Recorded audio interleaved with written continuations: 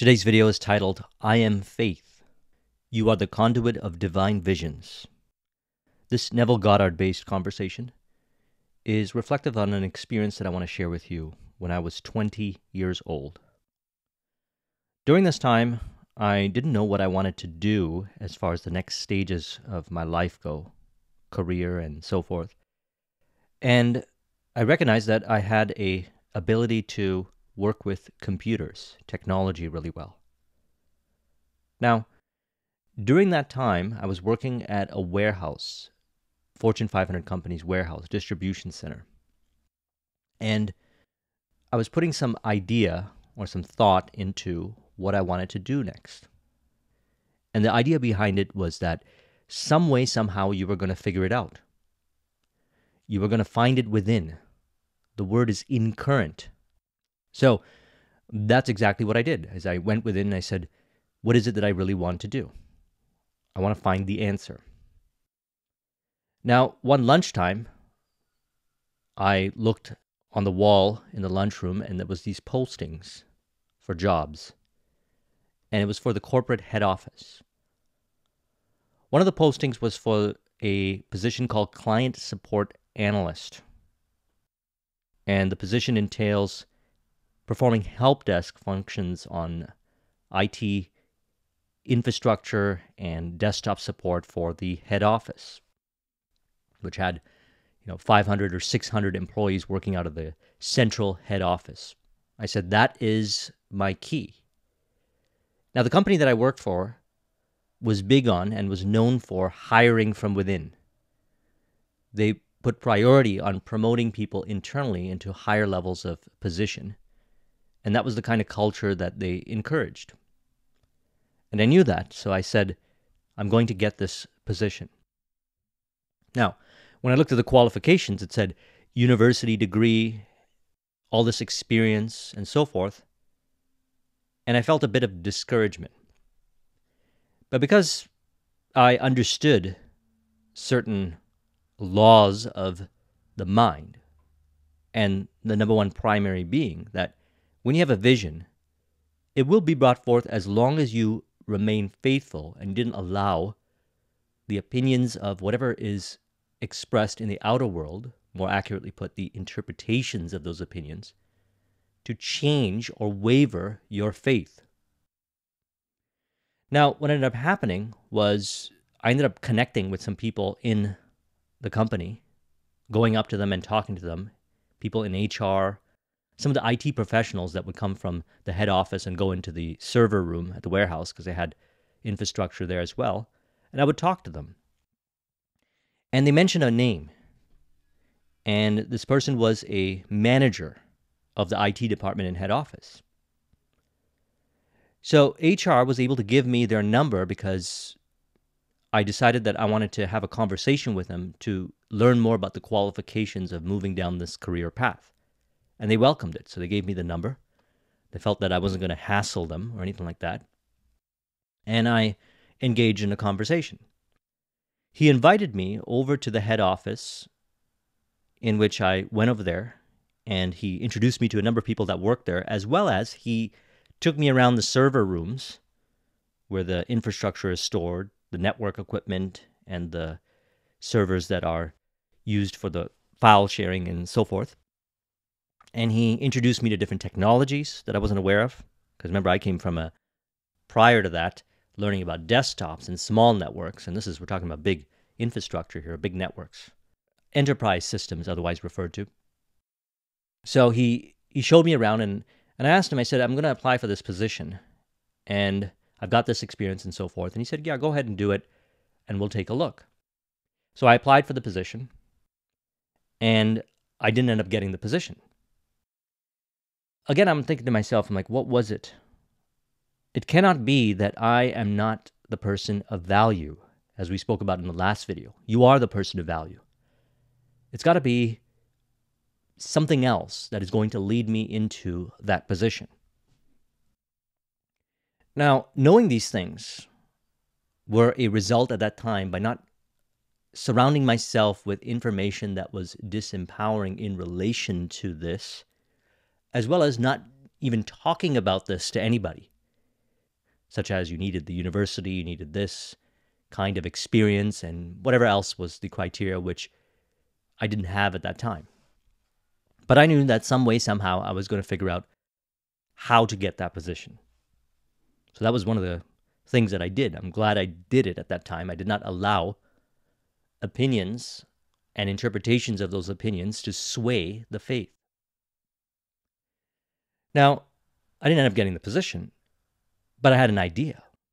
I said, what if I go into the office and then cross reference the position, the items on the posting, as well as my own experience and what can be done and demonstrate that I'm interested and even ask them about what are the skills that I could develop so I can get a position like that.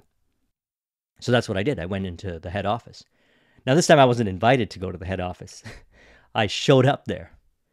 And I remember where his office was, and he had a meeting in the office, and he had like 10 or 15 people in there. So I sat in front of the office, which was a lunchroom, and I was facing this window, which is reflective, so you can you can see if the door opens and he leaves. So I sat there because I didn't want to attract any suspicion as to why I'm in this building. I managed to figure out a way, talk myself into the lunchroom in front of his office. So I sat down there. And when the door opened and everybody left, I walked in. And, you know, he was surprised to see me there. And I said to him, I said, so I applied for the position, and it wasn't any kind of force or argument or anything like that. I just, it was a matter of fact conversation, straightforward. So I applied for this position. I wasn't able to get it, probably for valid reasons, but I want to look at what I can do so that I can get the next available position because I really want to work here. He looked at me and he said, You know, that's very forward thinking of you, and that's the right way to go about doing things. And I said to him, I said, and I was 20 years old at the time, because one of the things that I thought at that particular time was one of the reasons why I didn't get that position was because of my age. So I said to him, Is it because I'm 20 years old? Because I swear to you, and I have a promise to make, that if you hire me, that this is going to be one of your best hiring decisions. I will meet your expectations. Now, that came out of me right in that moment. I did not think about these things to say. That was driven by this idea of faith. And when we looked at me, what he said was, Promise me you won't let me down. We do have another position that's going to be available. It's called computer printer operator. Your responsibility will be to print certain reports and also to ensure that we have proper backups and certain kinds of things that you wouldn't say are at the same level of IT support in relation to that position you applied for, but it is something that will lead you down that pathway and further along in this career. And I said, I promise you I won't let you down. And then the position became available. So I applied for it. A few weeks later, I got the position. Now, I ended up eventually getting that position of client support. I ended up getting promoted a few years later into that position, and then in, even into higher positions of technical support and so forth. And then the journey continued for almost 10 years. I was in that corporate environment, and I learned a lot and I grew a lot. And the very last day when I left, when I transitioned into my IT business, I had dinner with him because he had moved up to assistant vice president at the time. And we had a conversation and we reflected upon that experience. And it's amazing the kind of journey of growth and going from 20 years old to almost 30 years old at that time and dedicating your 20s working in this company and having all these amazing experiences. Now, this important reflection is going to be woven into the concepts we're going to talk about today vision, faith, and the ever evolving concept of self, which is living in faith. A lot of times we assume that we need to know how to bring forth our vision when we have a vision. We also look for what other people are doing or our own references from our past, which may not be harmonious or disempowering, and believe, based on those interpretations, that what we desire falls within that same criteria of contribution. And what I mean by that is We believe that because we weren't able to achieve certain things, or others weren't able to achieve certain things based on certain criteria, that we're not going to make it happen. But I grew up in an environment where none of that mattered. You had to figure out how to get what you want, and some way, somehow, you would figure it out because you would see people do things in ways that weren't traditional, non-linear. It was an unconventional approach, but they would create it. And they would deliver on the goods because when you look back at that experience, I delivered on that promise. I just didn't go through it in a traditional way. In fact, four or five years later, and you know, I was thinking maybe I would go to university and go into a position after, four or five years later, after developing in that company. My boss at the time said she was going to hire some people for different positions and so forth. And she said there was tons of resumes sitting on her desk. And she said, This is the pile I have to go through to, to decide upon for a few positions. And maybe you can help me vet out these individuals. And I'm like, wow, this is interesting. I went down what we would call a unconventional path. And so much of Neville's teachings is about going down an unconventional path. And we can label that path and call it a faith based path. And he states, What we imagine, that we are. By our imagination, we have created this dream of life. And by our imagination, we will re enter that eternal world of light, becoming that which we are before we imagine the world. So we're imagining all day long our visions and how we believe the journey to be to the destination.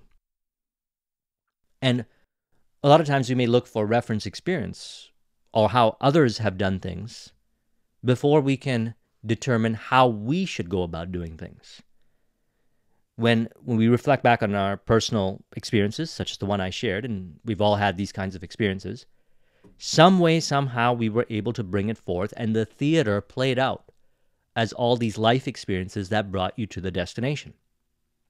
And it was a joyous theater because we allowed it to happen from within. We didn't find ourselves biased to rigid ways of looking at reality in a way that actually hinders the power that is within us. As he states, as soon as we succeed in transforming ourselves, the world will melt magically before our eyes and reshape itself in harmony with that which our transformation affirms. So, what's happening? The concept of self is changing. And we want to identify with core attributes of an empowering concept of self, such as faith, which is loyalty to the vision, unwavering, light-hearted loyalty to the vision. If we've got doubts and interpretations, and we believe that other people and their experiences shape our own, then we are allowing those interpretations to be that way if it is towards the negative. If it's to the empowering or to the positive or to the affirmative to your vision, then by all means do it and it can be in contribution. But if we assimilate towards the doubt based or anything that seems to deny the assumption and identify with, then we go down that thread. Because perhaps I could have identified with that story, nothing wrong with that, that I needed to go down the pathway of the four or five years in university, and I would have gone down that pathway and I would have brought forth the result from that perspective. So, which perspective is better, going down that pathway or not going down that pathway? Well, upon reflection, I realized that both of them would be riddled with flow based, harmonious based experiences and they would have opened up many different doors and would have taken me down many different pathways to the same destination. As I always say this, many ways to get to the same destination. And what I recommend is finding the answer within, based on what you have right now. Recognize that you have everything you need right now.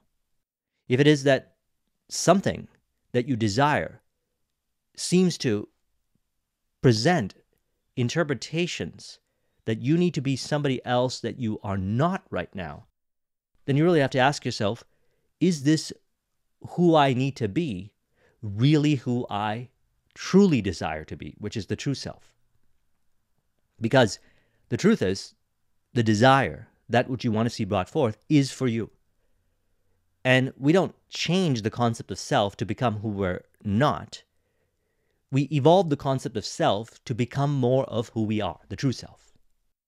So I go down this pathway, and then I share the reference experiences. And then it continues to mold. And even in 2016, when I decided to be involved with a management consulting project in Los Angeles for one year, it required me to have what is known as a TN visa. Now, when I looked at the qualifications for TN visa, I noticed that they required university degree, except management consulting and scientific technician. It's part of the NAFTA agreement between Canada and US. And this was the TN visa that I qualified for. Because while I was in IT, I was also involved with operations optimization, because that's a large part of what I did aside from the IT. And all that experience plus business experience allowed me to have the credentials so that when I went to the border, because the examination is done at the border, they, they cross reference you, Border Patrol does it, and they either approve it or deny it. So, based on the references and the experiences, I met the criteria accurately and they accepted the visa. I remember that day. Now, all of this is bridge of incidents because we can reflect back and say, wow, that's a very harmonious journey. It seemed completely flow based. But I will say that it wasn't completely flow based only because there was certain interpretations that I was identifying with during many parts of that journey, which I'm not talking about right now, which I do reveal over the videos and will continue to reveal, in which I had disempowering interpretations, either from my past or what I was interpreting based on what others were sharing about their experiences. The truth is that we are the interpreter. All the interpretation is having a effect on us from within. And we want to recognize that everything is leading us to the destination. And this is a continuous journey. So when I say ever evolving concept of self, I'm saying that one thing led to another and it continues down the pathway from growing to a certain level of proficiency in IT and experience in management and consulting and business and optimization, big business stuff, to then dedicating 10 years into entrepreneurship. And then what happens next? Well, we're continuing down this journey. And more and more so, we're recognizing that faith has been a determining factor to allow us to ascend past the limiting beliefs that had showed up. Perhaps it doesn't have to show up, but if it does, we can ascend from it. And simply put, staying loyal to the vision. Stay committed to the vision all the way till the end. Now, this is a preference. We don't have to do it. But I will say that the things that you truly desire to bring forth, you stay committed to. And it's not a force based way of looking at reality. The only force is created by the thinking, the interpretations, the assumptions, the beliefs, the perspectives, the perception, and we have the power to change it. Or we have the power to saturate our mind. As stated, I was in an environment that surrounded me with certain information that says, you got to figure it out. No matter what shows up here, you've got to figure it out. And it even stated that nobody was going to help you. In those kind of environments, it was said, hey, no one's going to help you. You got to figure it out on your own. And yeah, it was challenging and at times very overwhelming. But because you were taught, you were groomed by mentors in those environments who said, you got to figure it out. Some way, somehow, you got to figure it out. What they were saying is you got to have faith. And they were able to do it, and they were teaching you those things, and I'm glad they taught me those things. He says, if you have a goal, although it is unseen, it already exists. Your normal mortal eye cannot see it. But by rearranging the structure of your mind, you can see it clearly. If as the days follow one another, you remain loyal to this unseen reality, and your goal is reached, you will have discovered the mystery of creation. So that's interesting. He's saying the mystery of creation. Upon reference experience and reflection, and conversations with others, and deep introspection on his work, as well as going deeper into the work contained within the Bible, we realize that creation is already complete. And what it appears that we're doing is going down the infinite potentiality of bridge of incidents, as he refers to, to the realization and the fulfillment of a vision. So you can select in your imagination what you imagine and what you desire to imagine and affirm it to be true and commit to it. And then stay committed all the way to the realization to prove this in equation. He says the mystery of creation is to be understood in terms of faith. So, what is faith? It is the assurance of things hoped for, the conviction of things not seen with the mortal eye. Through faith, we understand that the world was created by the Word of God, so that what is seen was made out of things which do not appear. So the vision, it's not here right now. Whatever it is that you desire, it's not here right now. But do we have the ability to maintain loyalty to that vision? That's what we're called upon to do, is to exercise that loyalty to that vision. And then we'll realize, as he states here, all things exist. We just might not see it right now via the mortal eye. However, the moment we commit to the vision, we will see what we refer to traditionally as signs and synchronicities and interesting coincidences, such as the ones that I shared with you earlier. And there's many more nuances to it. And rather than making this an extremely lengthy video getting into the nuances, I shared some key parts of that journey, which, in a way, I didn't know how to predict those things. Although we probably can predict those things, and sometimes I seem to be able to predict things. But some way, somehow, it's brought forth through this concept of faith. He says, All things exist, and the mystery of their creation must be understood in the terms of faith. But faith does not give reality to that which is unseen. Faith is loyalty to the unseen reality. Only in this sense can the meaning of faith be understood. So we need to reflect and say, more so each day, are we being more faith based or are we constantly overthinking and looking for evidence of the five senses before we act, commit, or do anything that we truly desire? This is an important indicator. Because if we're doing that, then we're missing out on this opportunity. Now, I did a discussion on the concept of faith and belief, and I believe in working with them together in harmony. I work with them together. Because the truth is that we have so many beliefs, and we don't have to change all of them. We just need to find the ones that are inaccurate and creating unnecessary resistance, convolution, friction, certain kinds of frustration, void, separation between where we are right now and where we want to be. And where do we get these beliefs from, anyways? We get these beliefs from reference experience, from the teachings of others, from the conversations that we've had with ourselves as well as others about certain experiences in life.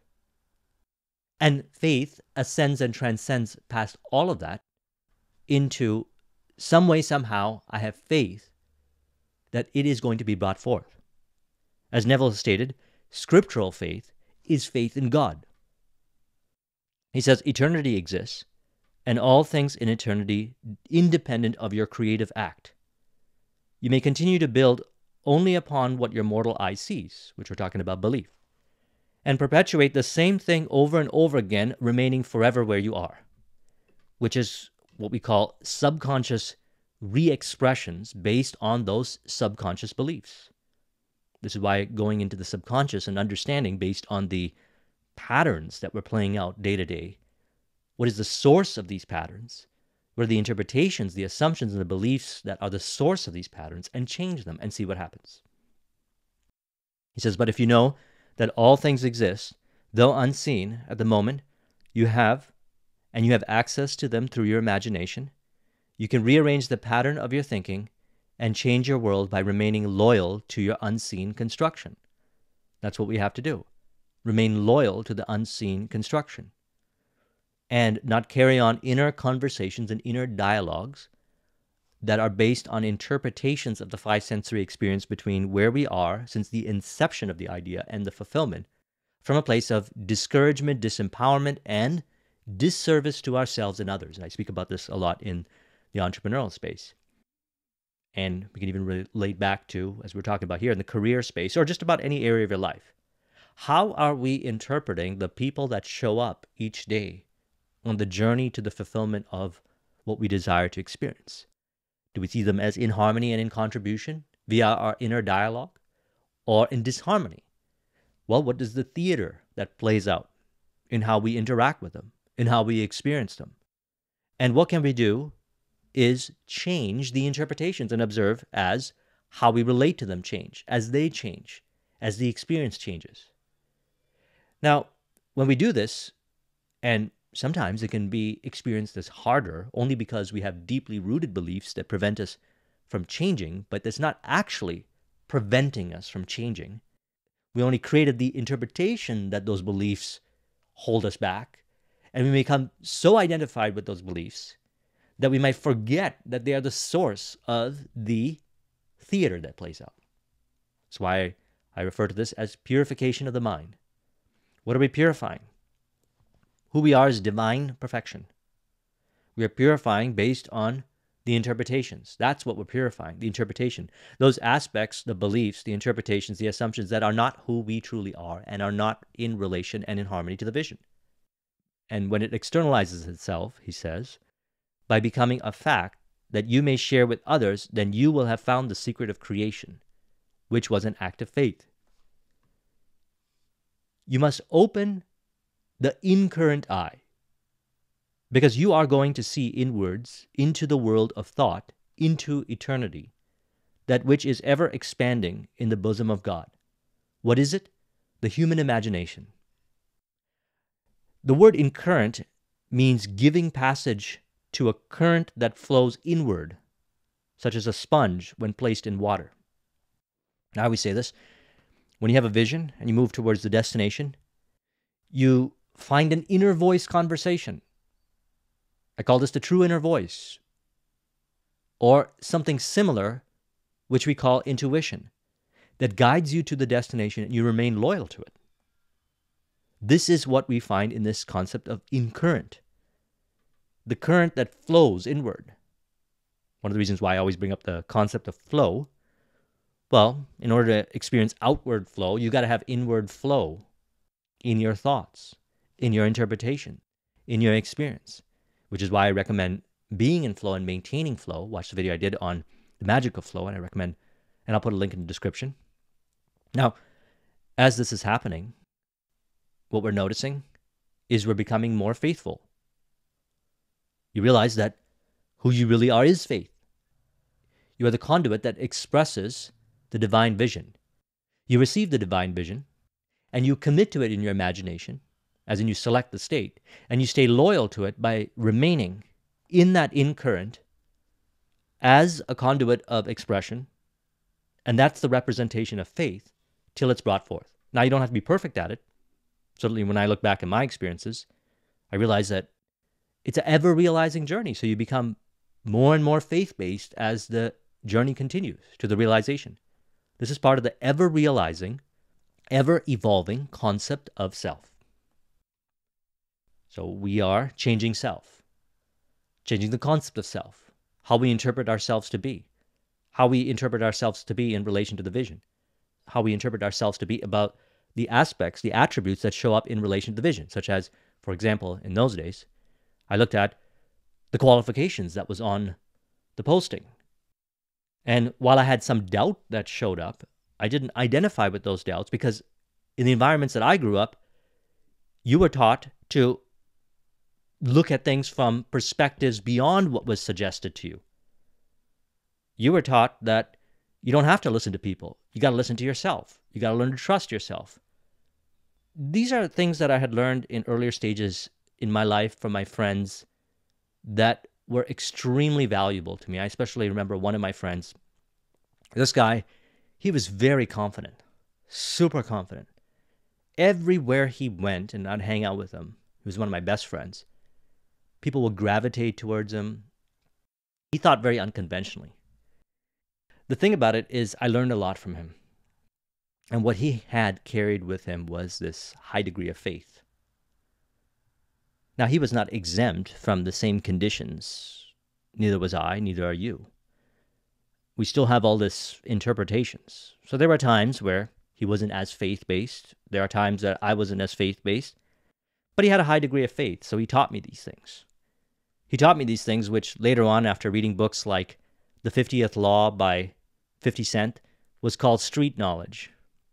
And my friends at the time taught me those things, which we later on label as street sense, which was very important. It was simply listening to yourself, not allowing the five sensory interpretations to waver your faith in the assumption. And that shapes you, and which is why I always recommend knowledge plus experience equals wisdom. The experience that you get from integration of this information, from actually going out and doing and living the philosophy, that can also be tied into the street sense. The knowledge in which you acquire, which we call book knowledge, is also important because what I learned was that with the book knowledge plus the street sense, I was able to ascend even higher. So that when I would read the books, they would awaken more of those understandings that were already there, that were affirmed to be true.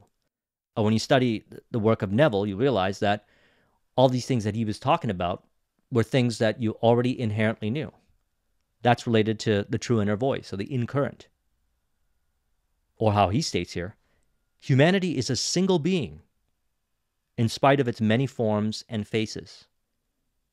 And there is in it only such seeming separation we find in our own being when we are dreaming. So, as he states it many times, everyone is you pushed out. This is all an interpretation of what's within consciousness. And we can change the interpretation to express as the journey and the realization of that vision. And everybody was there contributing to our vision. And our goal is to, through bringing forth our vision, also mold this world of ours into a higher degree of love.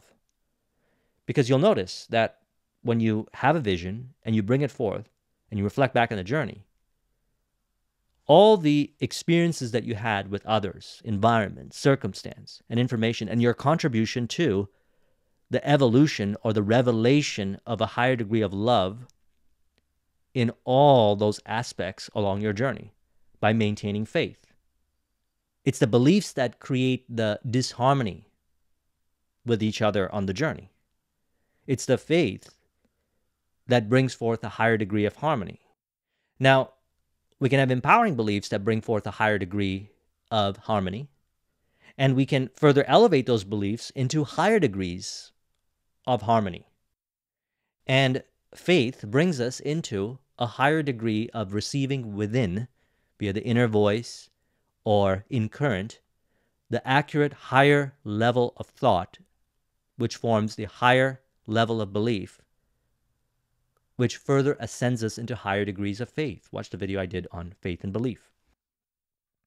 And what happens? The concept of ourself changes, or as he states, it is our conception of ourselves which frees or constrains us though it may use material agencies to achieve this purpose. However, our ordinary alterations of consciousness, as we pass from state to another, are not transformations because each of them are so rapidly succeeded by another in the reverse direction.